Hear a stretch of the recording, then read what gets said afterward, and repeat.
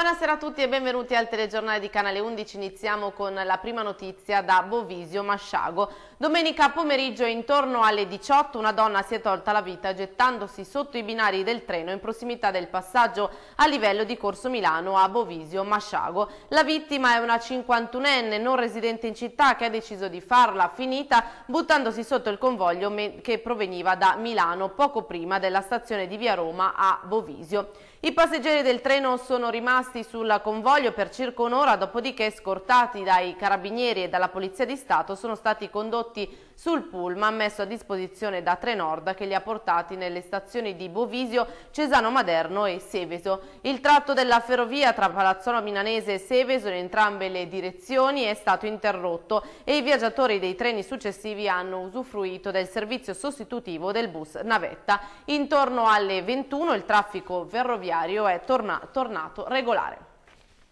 E ora andiamo a Desio. Si sono celebrati ieri pomeriggio nella Basilica di Desio i funerali di Paolo Vivacqua, il 51enne ucciso a colpi di pistola lunedì scorso mentre era nel suo ufficio in via Bramante a Desio. In molti parenti, amici o semplici compaesani hanno voluto dare l'ultimo saluto all'uomo originario di eh, Ravanusa in Sicilia, ma che da diversi anni viveva in Brianza, prima a Desio e ultimamente a Carate, Brianza. L'uomo è stato seppellito nel cimitero nuovo di Desio, intanto proseguono le indagini dei carabinieri che non escludono nessuna pista nell'attesa di dare un nome ai responsabili responsabili del fatto. Col passare dei giorni emergono sempre più particolari sulla vita di Vivacqua, imprenditori a cui erano riconducibili diverse società attive nel settore della compravendita di immobili e terreni e nel commercio e smaltimento di rottami. Al vaglio sia la pista di un omicidio scaturito nell'ambito del giro d'affari dell'uomo, ma anche la pista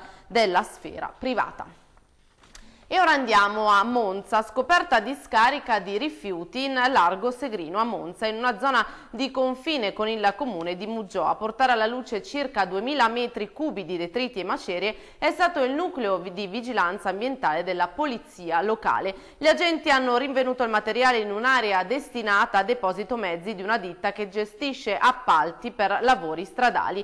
L'intera superficie è stata posta sotto sequestro in attesa di conoscere gli esiti degli analisi dei materiali effettuati dall'ARPA per constatare l'eventuale presenza di rifiuti dannosi. Il reato contestato al titolare è quello di gestione illecita e deposito incontrollato di rifiuti.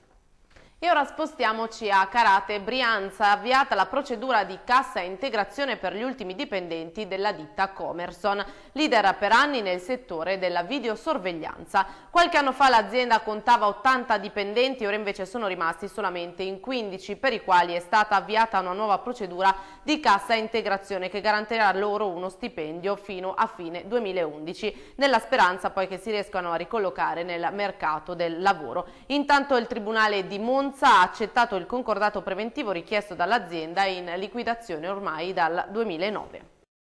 E chiudiamo con l'ultima notizia da Renate, incidente durante la caccia per un ottantenne bergamasco. Ieri mattina a Renate in prossimità di via Immacolato si è verificato un altro incidente durante una battuta di caccia che segue l'episodio di Besana Brianza di qualche settimana fa dove un cacciatore ne ferì un altro all'occhio. Questa volta il cacciatore coinvolto, un ottantenne proveniente da Villa Dadda, ha fatto tutto da solo. La dinamica non è ancora ufficializzata, ma sembra proprio che il cacciatore durante la caccia sia inciampato. Cercando di rimanere in piedi, il fucile imbracciato è caduto a terra facendo partire un colpo che era già presente in canna che lo ha colpito alla scapola sinistra. Il cacciatore non si è lasciato sopraffare dal dolore e ha avvisato il suo autista e che ha chiamato i soccorsi. Nel pomeriggio l'uomo è stato operato alla scapola all'ospedale San Gerardo di Monza.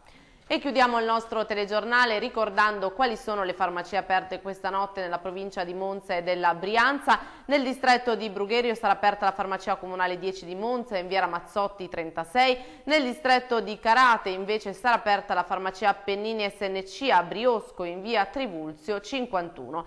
E spostiamoci nel distretto di Cesano dove sarà aperta la farmacia comunale 1 a Cesano Maderno in via Cantù 10, nel distretto di Desio sarà aperta la farmacia Nova in, a Nova in via Brodolini numero 1, a Lissone invece sarà aperta la comunale 10 di Monza in via Ramazzotti 36, nel distretto di Meda sarà aperta la farmacia Melchionda a Ceriano Laghetto in via Volta 14, e passiamo invece al distretto di Monza dove sarà aperta la comunale 10 in via Ramazzotti 36 a Monza e nel distretto di Seregno la farmacia Taborelli a Paina in via 4 novembre 71. Concludiamo con gli ultimi due distretti, con il distretto di Vimercate dove saranno aperte due farmacie, l'Ambrosiana di Lesmo in via Marconi 29 e la farmacia Burago a Burago Molgora in piazza Don Decio 1 C. Queste informazioni sono state gentilmente fornite dall'Associazione Lombarda Farmacie che ringraziamo. Queste erano le notizie del telegiornale di questa sera, vi ringrazio per averci seguito e vi auguro una buona serata.